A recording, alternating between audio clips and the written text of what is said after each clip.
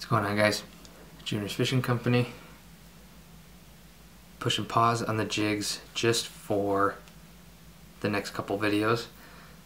I thought I'd mix it up a little bit and I was looking at a couple different spinner baits and I got these a couple weeks ago. I'm a huge fan, you can't really, there we go. I'm a huge fan of these double bladed, I mean it's like a spinner bait, but they run together. I don't. I mean, these are from Lure Parts Online. This is a twin spin spinner bait. this is 3 8 ounce jet black with hologram, so it's got a little uh, glitter in there. But if you want to see, so I don't uh, like. I've called these double blades. I've called them. You can call them whatever you want. I've been throwing these for a long time. Actually, the first muskie over 40 inches that I ever caught was on this little double right here. And it, what's cool about this one is the arms are separate. It was it's pretty intricately wrapped in here. I stole this when my grandpa was still around. I stole this from him and put new blades on it. I found it at the bottom of his tackle box. I don't know how old this thing is. so you know that they've been throwing them a long time. And um, I don't know, this is probably 10 years ago that I caught. It was a tiger, but tiger muskie, but still.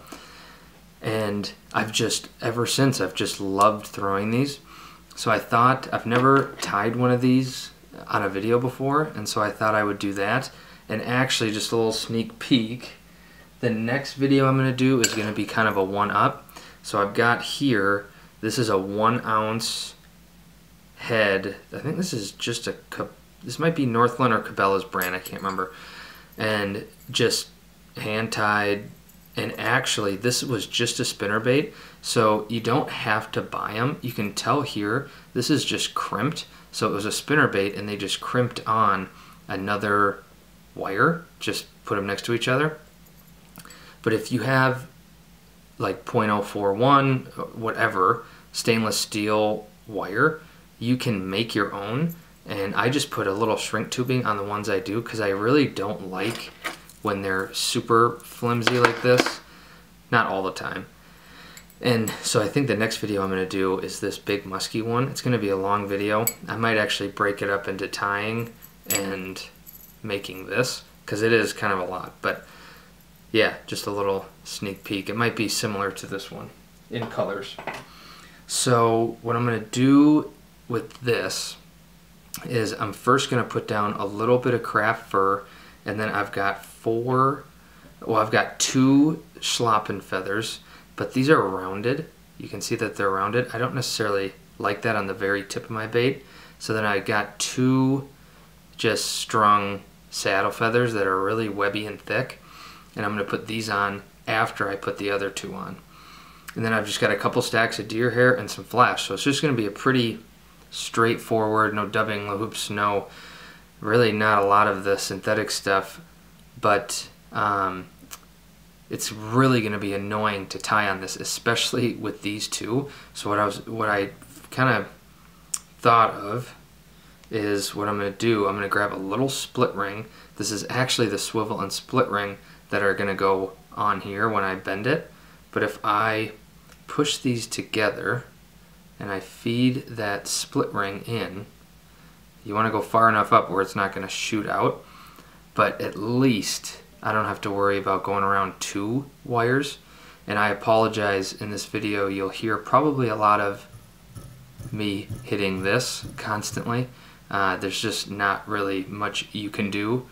It's super annoying to tie on spinner baits, but it's it's worth it. So what I'm going to do first is I've just got a little bit of craft fur. This is 210 Danville. This is Flymaster Plus. I'm going to get my craft fur, and I've already got it ready. I'm going to put that down first just to add a little bit. These feathers, when they get wet, really compress down. And I just want to make sure that the back of this bait isn't going to be too small, uh, too thin. So I'm just gonna push that around. I'm not really worried about the feathers fouling around the hook or anything. I mean, it will happen, and but this isn't the primary reason for this. Because this bait, I mean, it's gonna spin, it's gonna fish like this. And so I just wanna make sure that I have coverage on this. It is currently blizzarding here after a warm winter. This is one of the first videos I've been able to do when it's light out. So I'll just get that pushed around.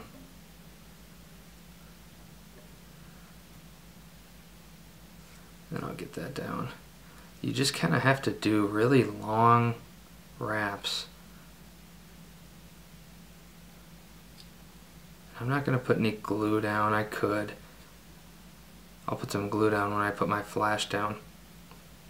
So now I've got two schlappens and I'm going to put those down first and I'm, these are going to be shorter just by about maybe not even half of an inch. I'm going to put these down first and I just want them to run as flat as I can. So I'll kind of actually, if I get it straight, I'll get my thread on this side and I'll just pull on there just to make sure I don't want this to rotate or anything. I want it to be flat. I want that stem to be nice and flat. But really when it gets wet it won't matter much. So, so I'll get my second one and these are already cut pretty much to length. Just want to try and make sure get a little loose over there and then I'll pull. Maybe I'll put a little glue down on these feathers too. These feathers are actually usually stronger than they look. Not that you'll be able to fish a whole summer with them, but they usually uh, usually go pretty well. And I know it looks huge, but if you've ever tied with these feathers, you know that they don't keep their they don't keep this bulk once they get wet. So now I'll put on those these more pointed ones. This is just the strung stuff. And I'm just gonna have it go, if you see, I'm just gonna have it go, it just barely goes past but that tip is what I want on the very end of my bait. Go a little bit farther.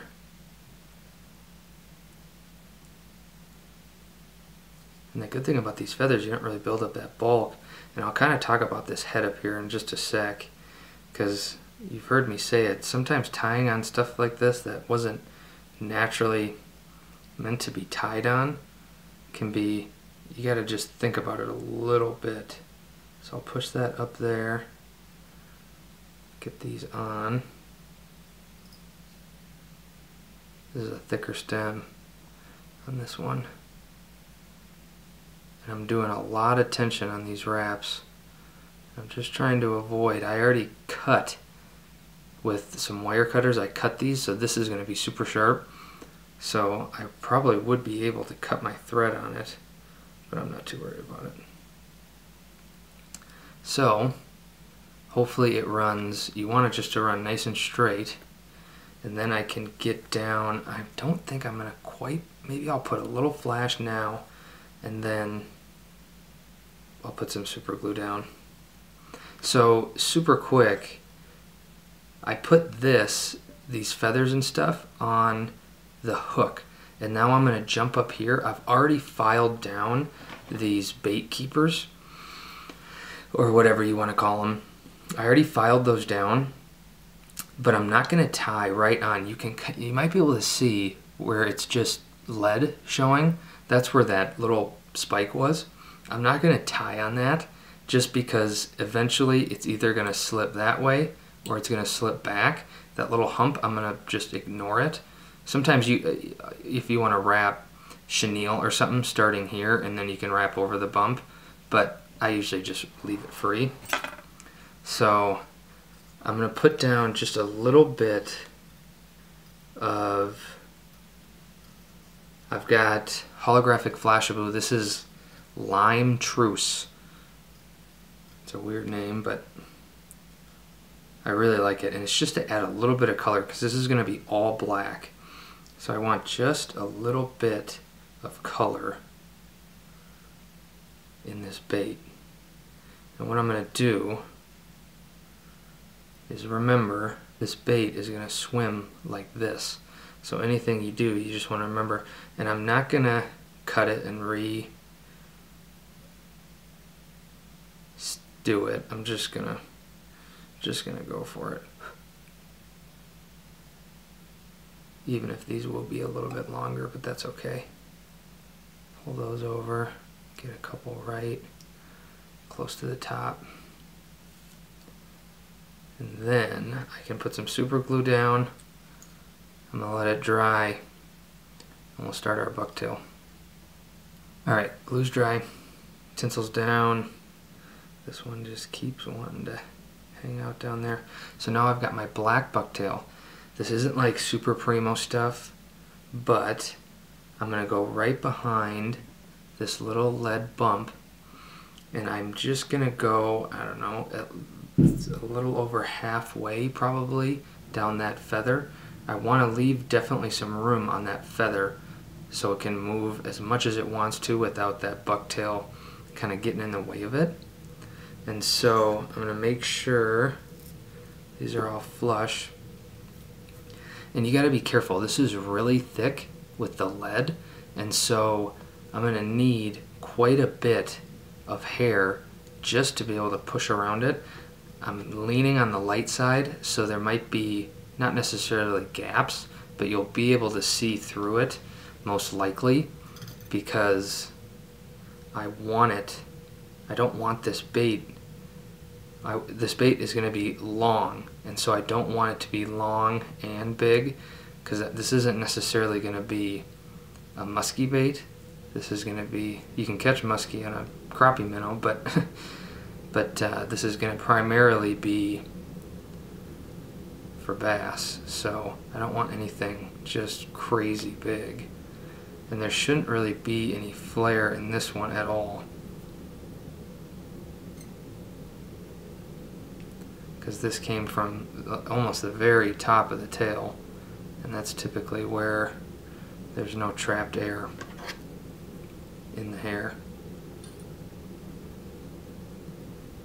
typically. So I'm going to just make sure, again, it's going to be thin. It's just the way I'm doing it. But I'll get that down. I'm not to do the pinch and stuff like that. This is just going to be kind of a, a classic. Put it on, spin it around, tie it down. And my second one is going to go right up. So this is this is a skirt keeper, right? So this is where you would traditionally put the skirt, and then this little lead bump just keeps your skirt where you want it, so it's not always coming down. So I'm going to tie right up to that. So I'll have two stacks here, and then I'm just going to put one big one right up by the head. So I'll grab my second one that's probably about as thick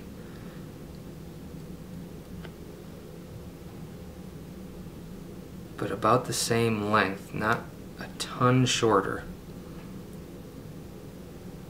I'm going to go pretty darn close to the exact spot that I was, that I am with the other one. I'm going to come all the way up though, right to there, and then after I put this one down, I'm going to put tinsel on again just a little more flash. So I'm going to come right to there, get all that down, two wraps, spin it around. It's just a long way to spin when you have a thicker hook like this. So you really got to push it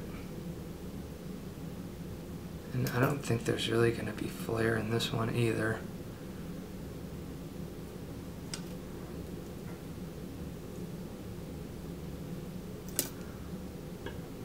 We can see a little bit.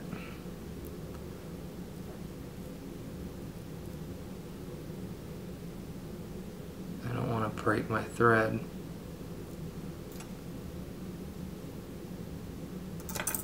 So I'm going to get this down and then I'm actually going to trim these hairs that butt up to this bump. Because that's really I don't know you don't have to. I'm just thinking I'm gonna. So I'll get these trimmed. Actually it might not take that long. Watch your thread.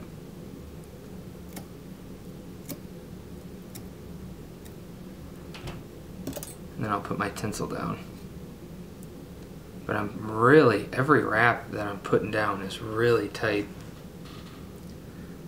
I don't want this hair to slip. So you just make sure that your tinsel's tapered out. Even just a little bit of taper helps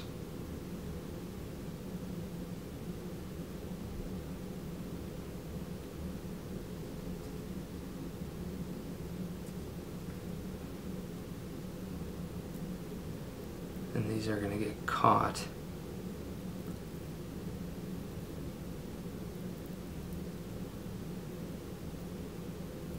Kind of just push those around and then I can start folding these ones on the other sides.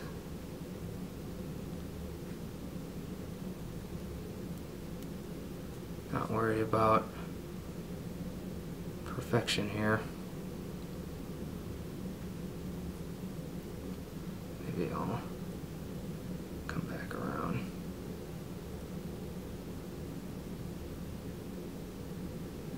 Just want to make sure they're down. And then I'll put a little more super glue.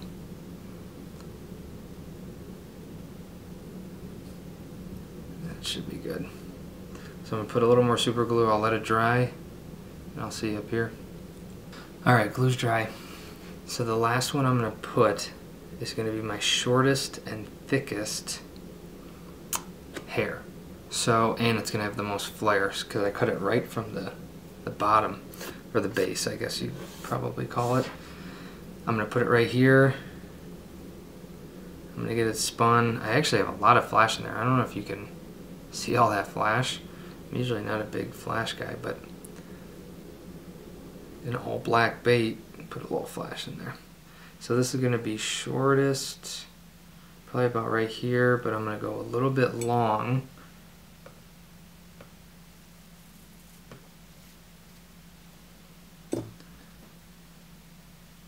on my hair.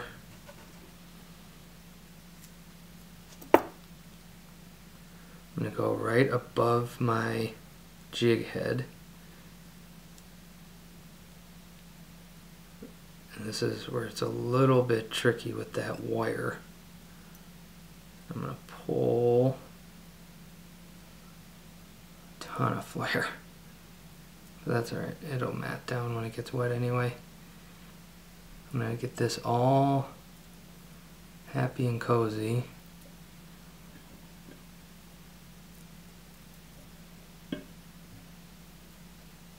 around and then I'm going to actually pull down a little bit and make sure that I can get a little more flare out of it. Just want to make sure that it looks fairly even. There's a ton of hair on here anyway. You just don't, and it's not a fly, so you're not worried about one side having way more than the other and it's going to swim off or whatever. I'll grab these butts and I'll just flare it a little bit more.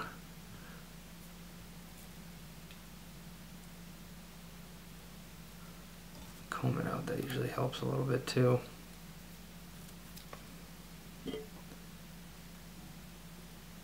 So now I'm going to get a bunch of good wraps working up towards my head. Really tight wraps. You can maybe see this bait kind of moving in a circle. On the last video, I was struggling with the head and I hit my thread and I had these wraps down and I just finished the bait. I didn't even have to worry about getting thread back down. Because if you put a good base layer down, you could almost just cut your thread and redo it. And it also helps the your materials, you know, just stay on too. But so it's going to be really tricky to see this because this is black on black. I'm going to get my razor blade and I'm going to push up against this flared hair by my head and then that'll create a nice little collar.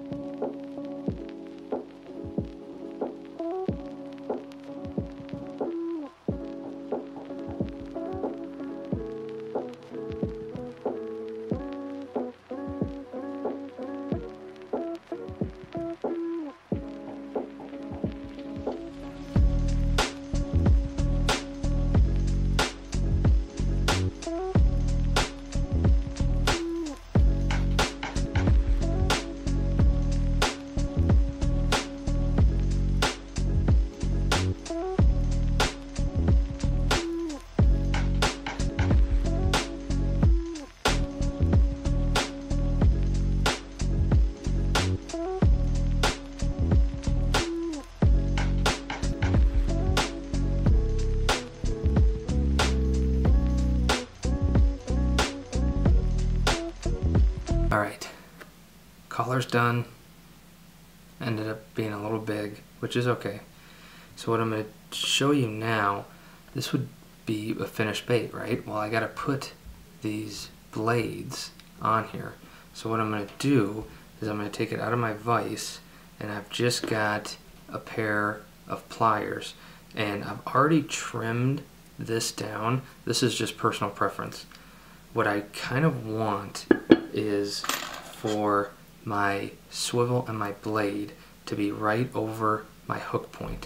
You can't, I don't know if you can see my hook point, but it's right here. I want it to be right over my hook point. So, and I want it to be as even as I can. So I'm going to use my pliers kind of as a measuring tool too. So I'm going to pinch right at where I clipped it. So it's almost flush on my bait. This is going to be really hard for you to see, but and that's where I'm going to bend it back. And then I'm going to do the same thing. I'm going to push on it with my thumb and I'm just going to rotate it as much as I can until it kind of touches where I am. And then I'm going to be able to straighten this out and then I'll just pinch it down. So I, now I'm going to be able just to pinch this like this and that blade will hold. So I'm going to do the same thing with this one. They were at almost identical lengths and again I'm just going to make sure that it's pretty much flush with that. I'm going to hold it with my thumb. I'm going to push against my thumb and I'm going to go all the way around. Be a little tricky and I want them to be as close as I can. They don't have to be perfect. So I've got size 4, number 4, premium finish, just Colorado blades. The good thing about this is you can change them really whenever you want, just on the split ring. And so I thought about doing two chartreuse, willow blades, but again, you can just change them whenever you want. So I just went with a the traditional silver so I'm going to get that on just like this and then anyone who's ever changed a spinner bait blade ever will know you just got to pinch that enough where the you're not going to cast it and you you watch your blade fly through the air. So that still probably isn't enough. You want it nice and tight on there so it'll swim just like this. Then I'll put that other one on.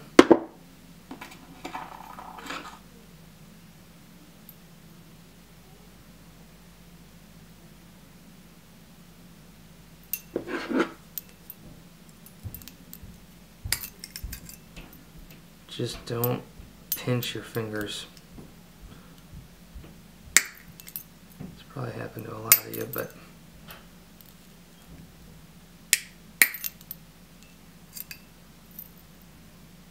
got a little bit more. So, again, I want these to be right over my hook point. This is a little bit short. You can definitely, on that musky one I showed you earlier, they definitely go back farther.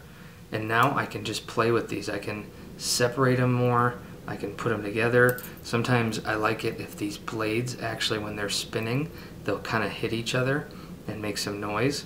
But primarily, I'll just spread these out and it'll fish just like that. Um, I again, I this is one of my favorite baits to throw anytime, anywhere. I have a little bias in it, but um, there you have it.